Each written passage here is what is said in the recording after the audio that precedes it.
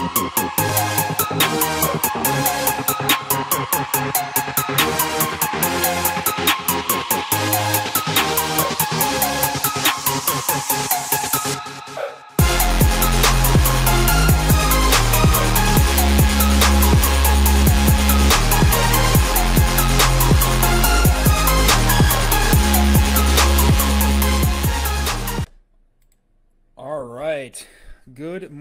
PT on ICE Daily Show. Happy Monday morning. Sorry we are late.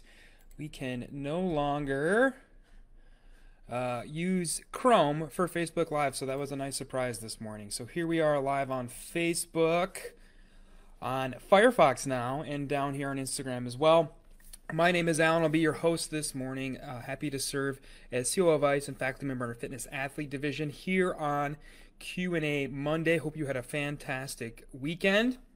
Today we're going to be talking about uh, some questions related to functional outcome measures, how to sequence and where those fall in in your initial evaluation, and the use of some software called FOTO, uh, which some of you may be familiar with, a lot of you may be familiar with, uh, at least uh, knowing about it, and kind of what is the research behind FOTO, and where do we use FOTO, and when do we use FOTO.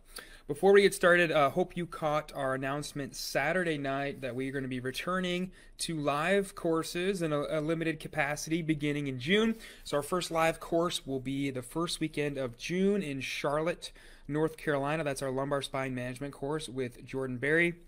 And then a couple weeks after that, we've got Jeff up in Danbury, Connecticut for lumbar spine management. And we have uh, total spine thrust manipulation out in Milwaukee, Wisconsin. And then performing artist management with Jessica Davis down in Chicago, Illinois, all that same weekend, the last weekend of June. After the 4th of July weekend, we'll be really uh, ramping back up. We'll have a couple courses each weekend. Hopefully, uh, fingers crossed, beginning uh, mid July through the end of the year. Fall is going to look uh, really busy with rescheduling of a lot of courses, but we're excited to get back out in person to all of you. If uh, a live course is not in the cards for you right now, or we had to reschedule your live course, a bunch of online content. Persistent Pain Management with Justin Dunaway starts today. There's still time to jump in that course before the first meeting on Wednesday. And then pretty much all of our other online courses are beginning uh, either this week. We have Modern Management Older Adult Essential Foundations online starting Wednesday, Advanced Concepts starting next Wednesday. We have Clinical Management Fitness Athlete Pregnancy Postpartum starting next Monday. And then in June, we have primary care PT and out of network starting. And then we have a bunch of online mini courses and free resources on the resource tab at ptonice.com. We have our exercise physiology mini course. We have our clinical management fitness athlete exercise library, some free quarantine con ed lectures, a whole bunch of uh, workshops and ebooks. We just uh, we're launching a new uh, ebook and video resource this week uh, on swimming. So look for that on Wednesday morning. And then hopefully by this time next week, we will have our next mini course, which will be on TMD management with Jordan Berry and Zach Morgan. That's going to be a fantastic course. Uh, that's really an area of practice that not a lot of PTs are comfortable with, um, that, that we can really grow our clinical practice in. And that course is super comprehensive, tons of videos down to teaching you how to, to market that skill set towards dentists in your area to really develop that clinical practice area. So that's all coming your way uh, or already available. So go to ptonice.com and check out those resources. So we had a really good question from Mike. Mike, I'm probably going to butcher your last name. Gilboy? Gilboy? Hmm. Uh, swing and a miss. We'll see. Mike. Mike said, when in the evaluation do functional outcomes or something like FOTO come into play? What does that sequencing look like? Sometimes I feel really pressed for time uh, in my evaluation, and I may not do FOTO at the start. I may do it at the end. I may do it the next visit, or I may skip it altogether if I feel really pressed for time with the patient and I want to get them in the door. I want to get them uh, a quality evaluation and get them started with some things to do at home to start getting better. So let's talk about FOTO. Let's rewind for those of you who may not know what FOTO is. FOTO is focus on therapeutic outcomes. What is it? It's a computer based system computer adaptive outcome measures. So things like the ODI, the Oswestry, the NDI, the Neck Disability Index, uh, the LEFS, the DASH, all those sort of things, those kind of paper handouts that we have patients fill out it's put into a computer. We can put a whole bunch of stuff and sequence it together. We can say I want a patient with back pain to maybe take the ODI, maybe take the lower extremity functional scale, and get a bunch of outcome measures strung together. What's cool is it's computer adapted. So much like a board exam or certification test, it's going to learn as the person answers questions and kind of clear up some redundancies and, and really uh, speed up the time it takes that person to, to perform the outcome measures um, and skip a lot of questions. Like uh, on the lower extremity functional scale, for example, there's questions about walking, there's questions about running a short distance, uh, running a long distance, running on uneven terrain, running with cuts and sports and jumping. And uh, if you've ever given that to somebody in person in the clinic and they have so much pain they can't even walk, they kind of laugh when you ask them questions about walking and then go on to ask them questions also about running and jumping and cutting and bounding. Obviously, if, if they're having pain with just at rest or walking, those other questions usually don't apply and the, the, the benefit of FOTO is that it's going to cut all those out based on how that person answers. Once they're done with those questions it's going to stage that patient. It's going to do some data crunching and it's going to offer things like uh, a, a, measure of uh, disability some percentage of disability with our, our patients that are using Medicare, we need to know that that G code uh, that's that's mandatory for billing, that kind of bracket of, of disability based on those those outcome measures. It's also going to offer predicted progress based on other things they answer from a demographic point of view. Based on uh, height and weight and BMI and age and comorbidity and all these other factors, it's going to crunch all that together with their answers and give them uh, a predicted progress. Based on everything, this person is here and we can expect them, compared to all the other folks who are very similar demographically, we can expect them to make this much progress, which can be helpful in goal setting. Something else FOTO does is compare the outcomes of patients that are seen by a PT. It compares PT to PT and kind of uh, ranks PTs and ranks clinic groups as a whole. And this is very helpful for a lot of insurance companies uh, for things like merit uh, based incentives. So that's a program through through Medicare where based on a whole bunch of different stuff, outcomes, utilization, safety, patient satisfaction. Um, you can either get deducted uh, a certain percentage of your reimbursement or get a reimbursement bonus based on, on outcomes, and FOTO is used to help justify that. So some clinics will offer bonuses to PTs based on where they fall on that FOTO benchmarking. So, what's the research on FOTO and, and using functional outcome measures? There's a really good correlation between these kind of paper uh, questionnaire functional outcome measures and actual physical function, as well as clinical progress. Uh, Julie Fritz and colleagues have a bunch of research on this. Um, that that if we compare that to how people report um, their their functional outcomes, their progress, um, what they're able to do before PT, what they're able to do during PT at a progress note, what they're able to do after PT, after having a bout of PT. We know it correlates very well to actual functional performance and overall clinical progress. Uh, what I like about some of these is it we can really cue you into somebody's beliefs before you even get a chance to sit down and talk to them. So if on your FOTO or in your intake somewhere you have something um, like the the Tampa kinesiophobia scale, um, you can really get cued in to what people think um, about themselves um, or or how they perceive what's going on with with their injury. Uh, for example, that that person who um, comes into the clinic, they walk into the clinic, but maybe on that functional outcome measure, they report that they can't do anything.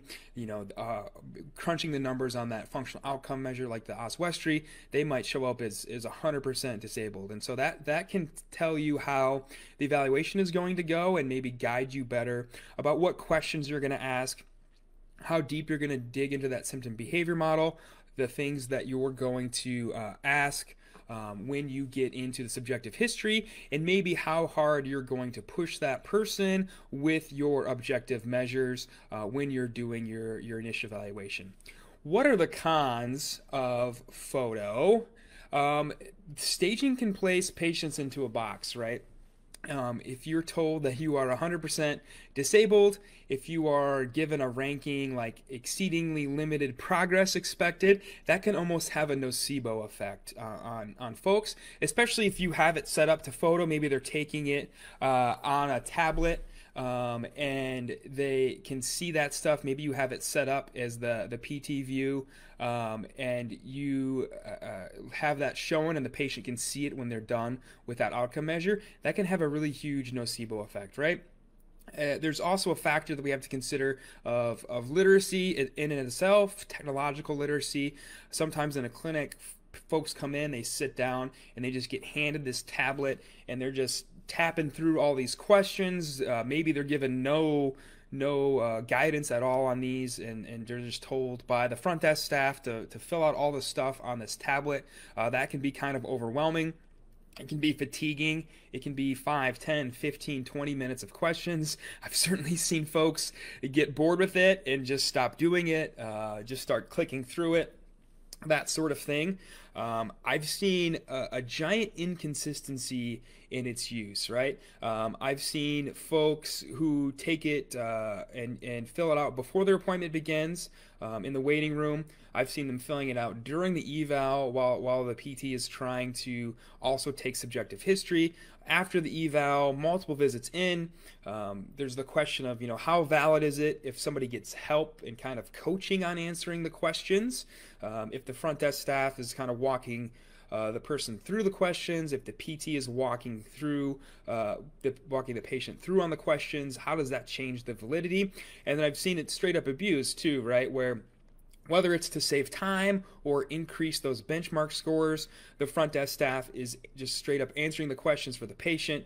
The PT is answering the question for the patient before or after the evaluation. So there is that abuse factor. And obviously, you know, not every uh, clinic is, is abusing it like that, but when we see that it's an entire database of data, we need 100% clean data to actually be able to compare clinics to clinics. So when I see on a website that a clinic is in the top 10% or the top 5% of FOTO, I take that with a grain of salt, knowing how I've seen FOTO used, its variants of use, the abuse of its use, um, and certainly setting applies, right?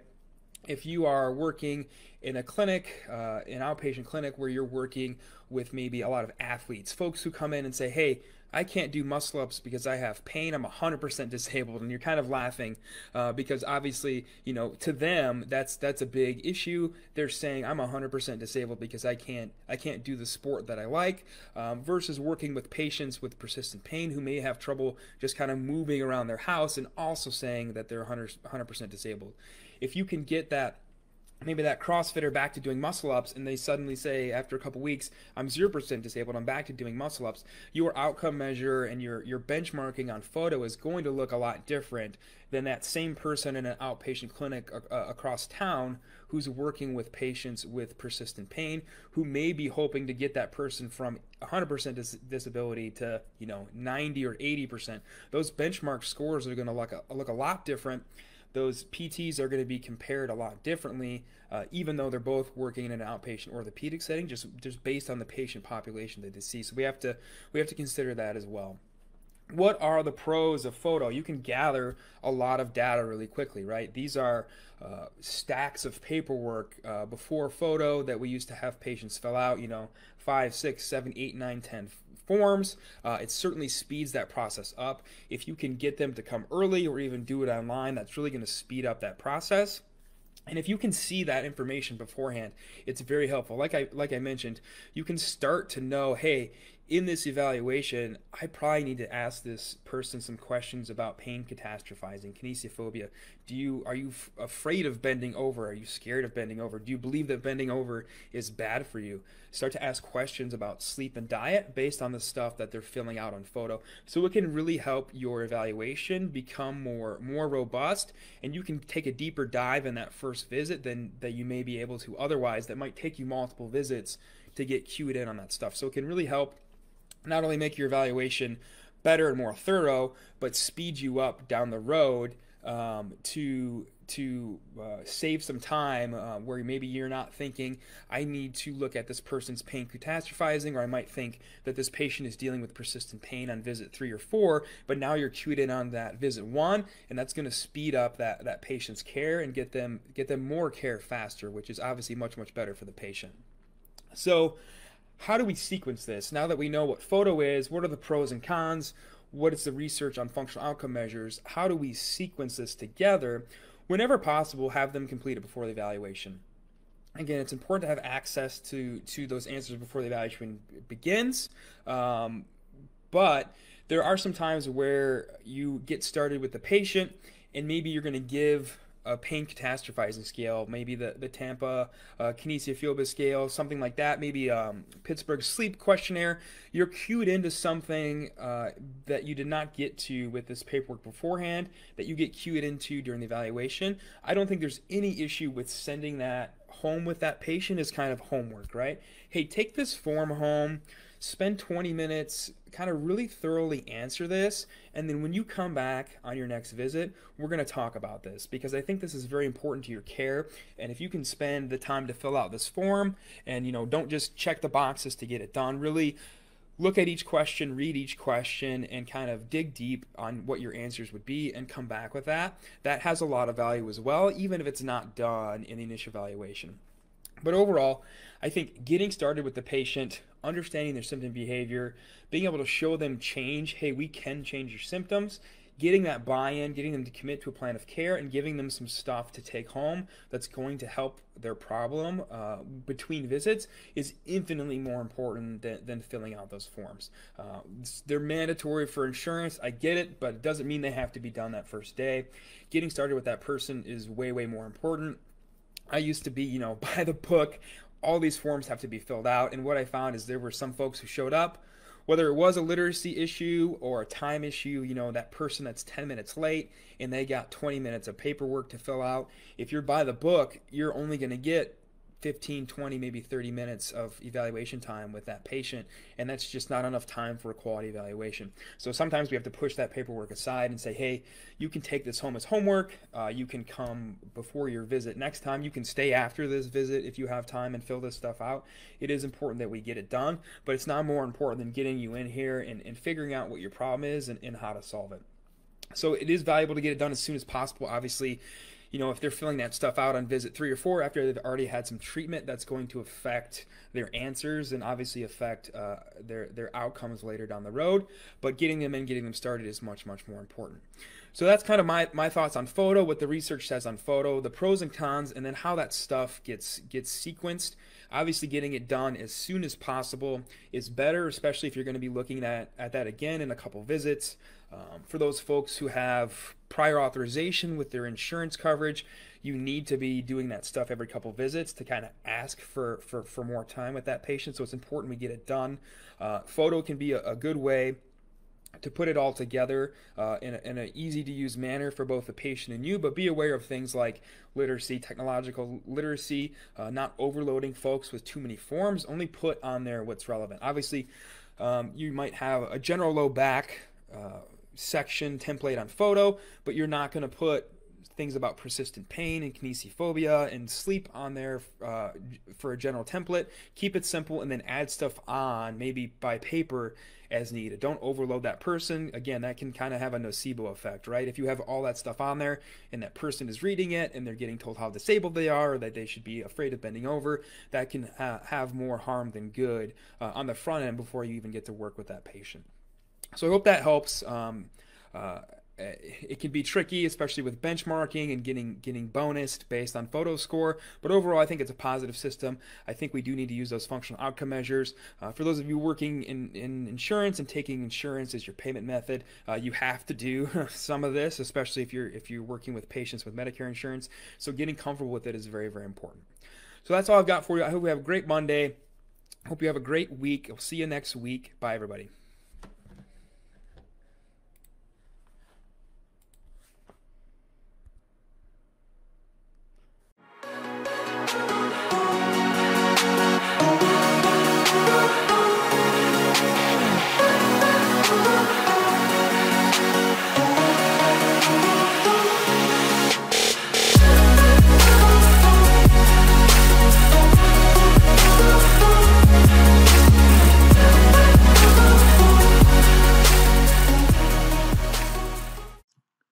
Hey, thanks for tuning in to the PT on Ice Daily Show. If you enjoyed this content, head on over to iTunes and leave us a review. And be sure to check us out on Facebook and Instagram at the Institute of Clinical Excellence. If you're interested in getting plugged into more ICE content on a weekly basis while earning CEUs from home, check out our virtual ICE online mentorship program at ptonice.com. While you're there, sign up for our Hump Day Hustling newsletter for a free email every Wednesday morning with our top five research articles and social media posts that we think are worth reading head over to ptonice.com and scroll to the bottom of the page to sign up.